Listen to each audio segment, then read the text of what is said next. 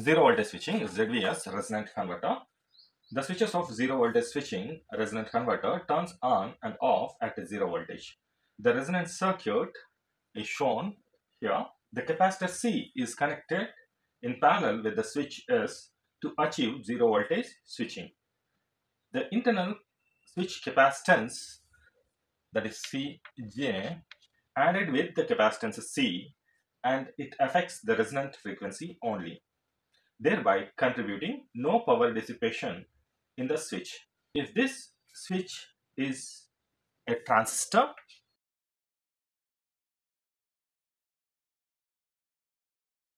and an anti-parallel diode D is connected to this, then the voltage across the C is clamped by the diode D and the switch is operated in half wave configuration. For this circuit, if the diode D is in series with the transistor Q, then the voltage across the C can oscillate freely and the switch is operated in full wave configuration. A zero voltage switching converter is the dual of zero current switching converter. The equations for n-type ZCS a resonant converter can be applied if IL is replaced with VC and vice versa and L by C and C by L and Vs by I0 and I0 by Vs. Now let us see how ZVS, the resonant converter, operates. Zero voltage switching resonant converter circuit is shown here and the circuit operation can be divided into five modes. We shall redefine the time origin t equals to 0 at the beginning of each mode. Then mode 1, this mode is valid between 0 and t1 when both the switch and the diode are off. Then the equivalent circuit will be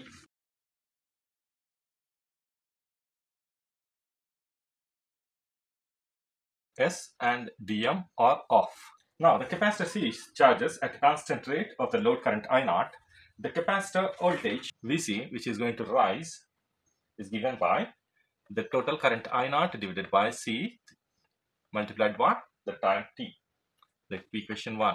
And this mode is going to end at t equals to t1 where the voltage Vc is going to reach up to Vs at t equals to t1. Then the time t1 is given by the voltage Vs C divided by I0. Mode 2 is between 0, T and T2. When S is off and DM is on, then the equivalent circuit will be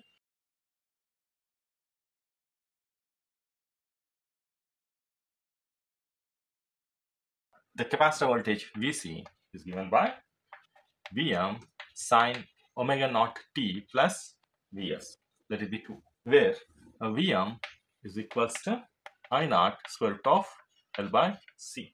At t equals to pi by 2 square root of LC, the peak switch voltage that is Vt of peak is going to occur and the voltage across the switch is nothing but the voltage across the capacitor is also a voltage that is given by I naught root L by C plus Vs.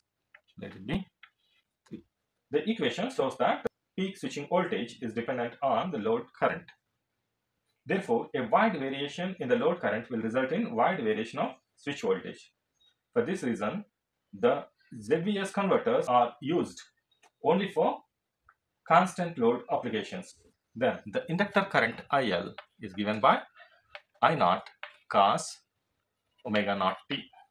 Let this be 4. And this mode is going to end at t equals to t2 where the voltage across the capacitor will be equals to Vs and the current IL equals to minus I naught. Therefore, T2 is given by pi root LC. Now mode 3 lies between 0 and T3 and the equivalent circuit is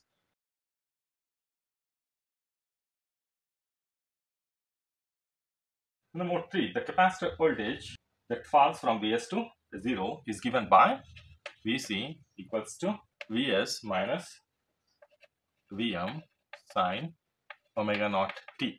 That is equation number 5. And the inductor current IL is given by minus I naught cos omega naught t. 6.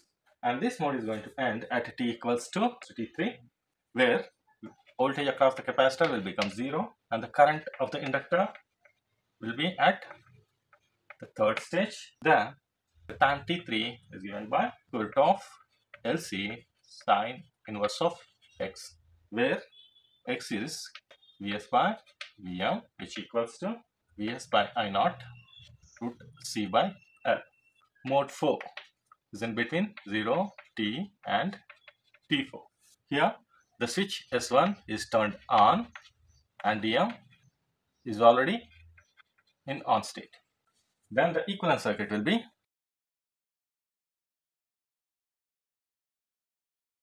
the inductor current which rises linearly from IL3 to I0 and is given by the IL equals to IL3 plus Vs by L T.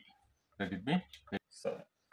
And this mode is going to end at T equals to T4. At that stage, IL equals to 0.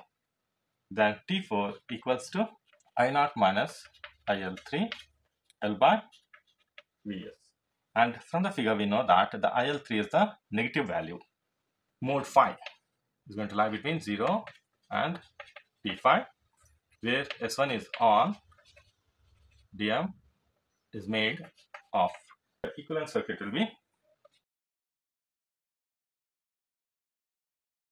and the load current I naught flows through the switch.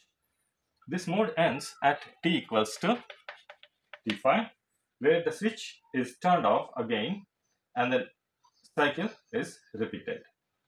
That is T5 equals to T minus T1 plus T2 plus T3 plus T4.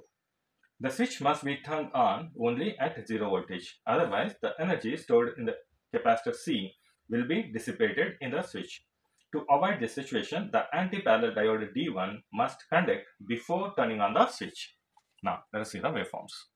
The voltage of the capacitor in mode 1 is going to reach from 0 to Vs. In mode 2, it reaches the maximum value of Vs plus Vm and then turn back to Vs in mode 2. In mode 3, the Vc will become 0 and stays at the 0 in mode 4 and mode 5 until the next cycle starts. Then it's going to repeat. The inductor current IL in the mode 1 will be at I naught. In mode 2 will become negative I naught. In mode 3 it starts rising. In mode 4 it will reach the maximum value of I naught again. And in mode 5 it stays at I naught. In the next cycle also in the mode 1 it stays at I naught. Again reaches the negative starts increasing again. This is zero voltage switching a resonant converter circuit with the waveforms and the modes of operation. If this video is useful, please like, share and subscribe.